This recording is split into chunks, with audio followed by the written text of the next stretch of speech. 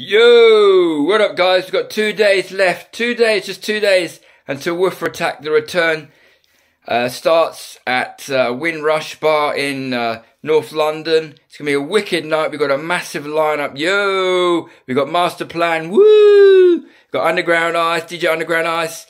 We've got uh, DJ Navstar. We've got DJ Poise. We've got Vicxxi Ama.